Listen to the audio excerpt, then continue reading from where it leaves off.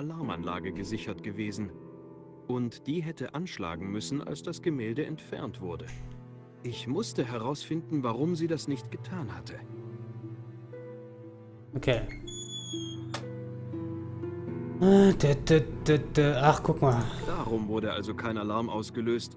Ein Kabel war durchtrennt worden, und zwar von jemandem, der genau wusste, was er tat.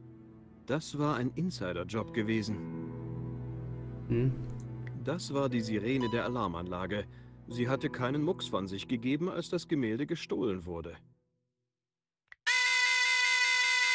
Der Knopf überbrückte das Druckplattensystem.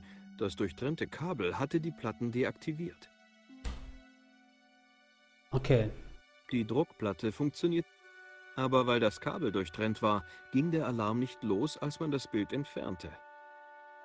Okay, sonst haben wir hier nichts. Die Druckplatte, aber weil das... Ja, ja. Okay. Dann wieder raus. Haben wir denn da unten? Gar nichts. Gemälde, Gemälde, Tür. Wir haben doch hier eine Überwachungskamera. Die Tür war mit einer Code-Tastatur gesichert. Die Kabel von der Kamera liefen in das Zimmer dahinter. Die Kamera muss den ganzen Raub aufgezeichnet haben. Wenn ich den Code für das Türschloss bekäme, könnte ich vielleicht etwas Licht in die Sache bringen. Ich brauchte immer noch den Code. Okay, wir brauchen immer noch den Code. Das Kabel führte von der Kamera in den Raum mit dem Privatschild. Die Büste stand recht wackelig auf dem Podest. Ich wollte sie nicht runterschubsen. Warte mal, da fällt mir ein, wir haben noch so ein Rasierwasser. Vielleicht können wir mit diesem Rasierwasser den, den alten, dicken, fetten, den wir eh nicht leiden können, wecken. Geht das? Okay, er geht dahin. Laut Etikett weckt das Zeug okay. das Tier in dir. Gut, ein Versuch kann nicht schaden. Sehr schön. Knallhart. Ins Gefräß.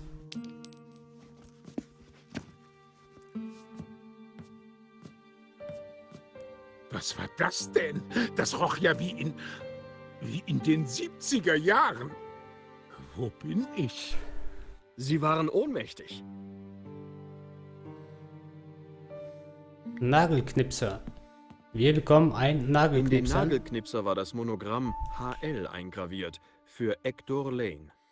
Er musste aus seiner Tasche gefallen sein. Ja, ist es auch. Ist es auch. Ich frage mich nur, was wir jetzt noch machen müssen. Frag dir mal. Vielleicht weiß er Willkommen ja zurück im Land der Lebenden.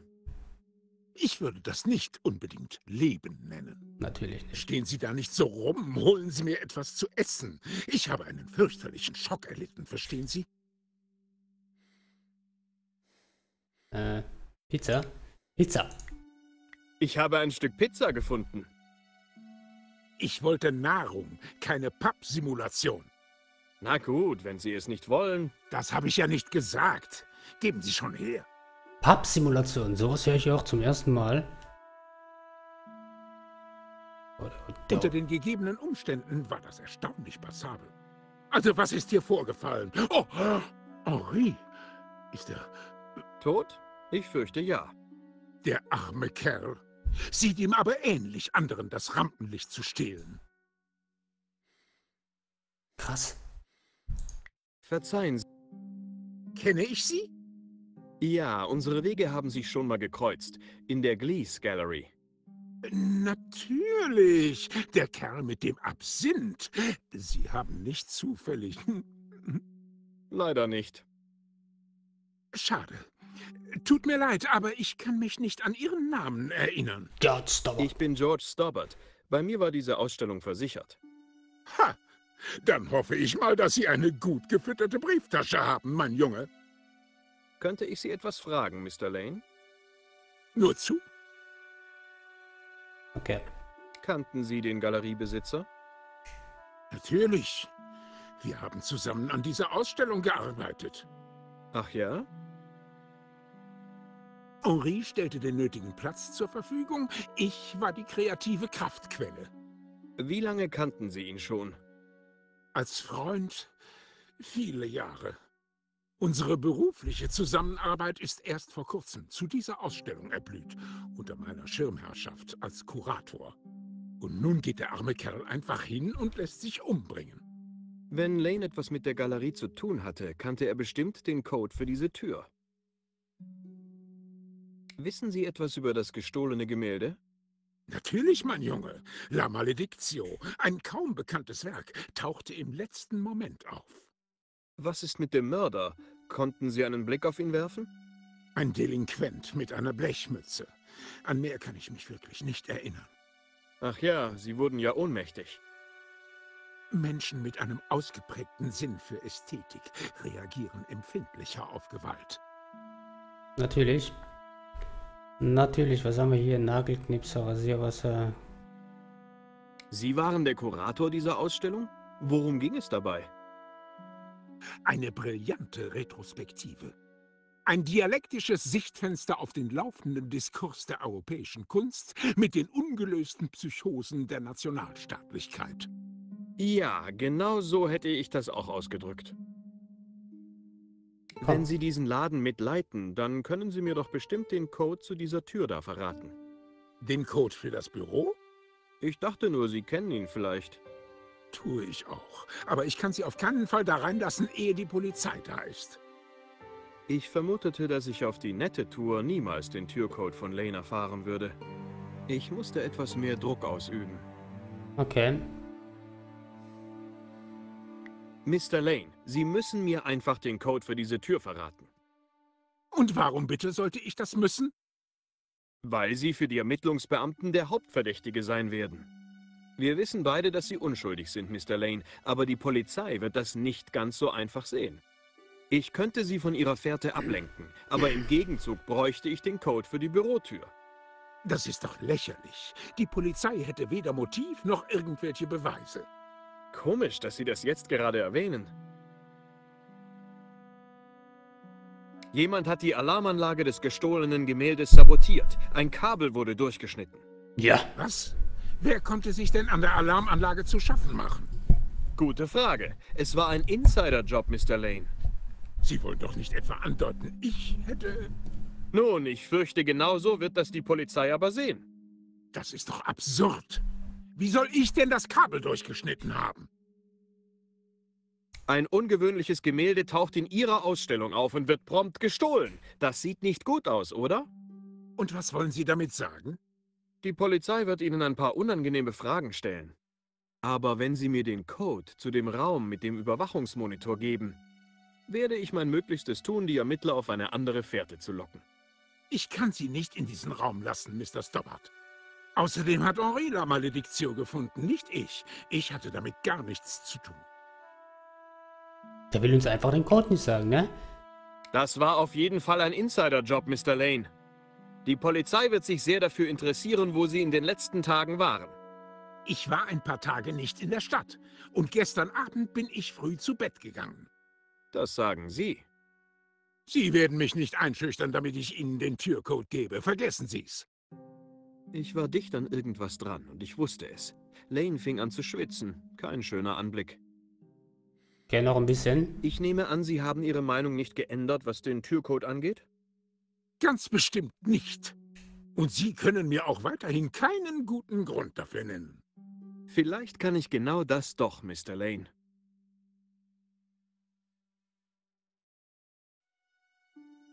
Ich sag das nur ungern, Mr. Lane, aber Sie werden der Hauptverdächtige für diesen Mord sein. Das hatten wir doch schon. Das sagten Sie bereits, Mr. Stobbart. Sie waren also nicht in der Stadt und sind gestern Abend früh zu Bett gegangen, ja? Stimmt genau. Ich war seit Tagen nicht mehr in der Nähe der Galerie. Ist das Ihr Nagelknipser, Mr. Lane? Ja, da ist mein Monogramm eingraviert. Hm, das perfekte Werkzeug, um damit das Kabel der Alarmanlage an dem gestohlenen Gemälde zu kappen. Da hat er ihn. Was reden Sie da? Nun, die Alarmanlage wurde sabotiert, Mr. Lane. Es war ein Insider-Job. Sie beschuldigen mich? Wie können Sie es wagen? Ich hatte keinen Grund, Henri zu töten. Nicht das kleinste Motiv. Das sagen Sie. Nur bezweifle ich, dass die Polizei das ebenso sehen wird. Und ich hätte zu gerne diesen Türcode.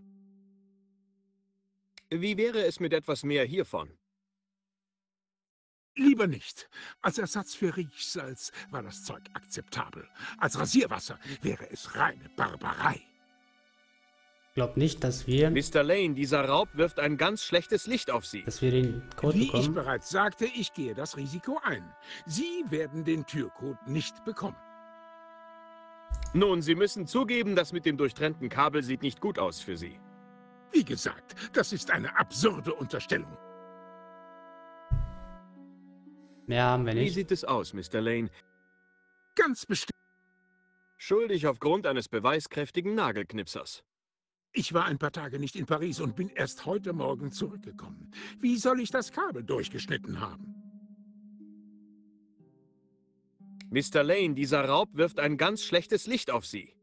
Wie ich bereits sagte, ich gehe das Risiko ein. Mann. Sie werden den Tür... Ja, wird er nicht bekommen. Sie waren also nicht in der Stadt und sind gestern... Stimmt genau.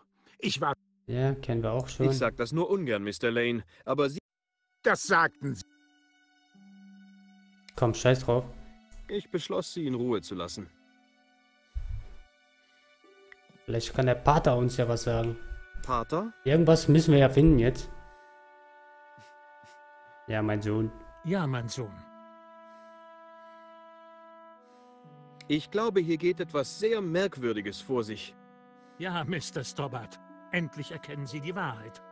Nein, Pater, ich wollte damit sagen, dass der Raubmord offenbar ein Insiderjob war. Das Werk des Teufels ist immer ein Insiderjob. Ein Kabel der Alarmanlage des Gemäldes wurde absichtlich durchtrennt. Vielleicht hat es der Teufel persönlich gekappt. Natürlich. Aber soweit ich weiß, sind in letzter Zeit sehr wenig geschweifte Kerle mit Hörnern und Klumpfuß gesichtet worden. Sie machen sich über mich lustig, Mr. Stobbart. Aber wie Sie noch merken werden, lacht der Teufel gerne als Letzter. Kennen Sie den Code, mit dem man ins Büro gelangt? Nein, aber Sie könnten ja beten und Gott bitten, Sie zu leiten. Bei allem Respekt, Pater, aber ich suche nach einer etwas schnelleren Lösung. Wissen Sie sonst noch etwas über El Serb? Ich habe Ihnen schon alles gesagt, was ich weiß. Vielleicht war es ja der Pater. Können Sie mir sonst noch irgendwas über La Maledictio erzählen? Ich habe Ihnen zu diesem Thema alles gesagt, was ich dazu sagen will. Will. Pater, wie wäre es mit einem Spritzer? Gott bewahre. Spritzer. Knallhart. Erkennen Sie das hier? Den Nagelknipser? Ich weiß nicht, worauf Sie hinaus wollen. Okay, irgendwas müssen wir machen. Ach, wir können sogar noch rausgehen. Pizzakarton. Ich beschloss, Ja. Bei dem finden wir ja auch nichts mehr, oder? Da hatten wir ja alles. Zerknüppter. Brille. tja, heute Mathe, morgen Platte. Ich beschloss, Henri's Toupet in Frieden ruhen zu Okay. Sonst ist hier gar nichts.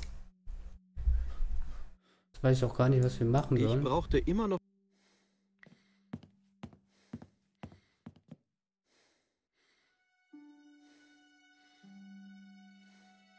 Gemälde.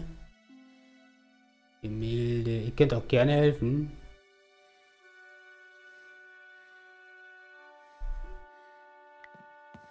Das Kabel führte von der Kamera in den Raum mit dem Privatschild. Ja, das kennen wir ja schon alles. Ich gehe mal raus. Mal gucken, was wir rausfinden. Vielleicht hat der Dieb, der Mörder ja irgendwas fallen gelassen. Eine ruhige Straße in einer gehobenen Gegend. Nicht gerade das ideale Pflaster für Gelegenheitsdiebe. Äh, Galeriefenster. Der Raum sah aus wie eine Art Büro für die Galerie.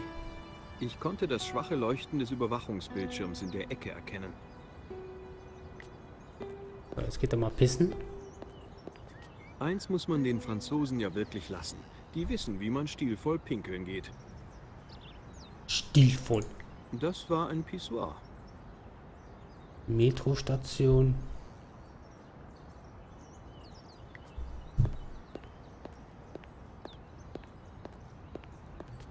Von hier draußen konnte man das gestohlene Gemälde nicht sehen. Dieser Raub war definitiv geplant gewesen. geplant gewesen. Warte, warte nicht rein. Ne? Jetzt geht er doch rein.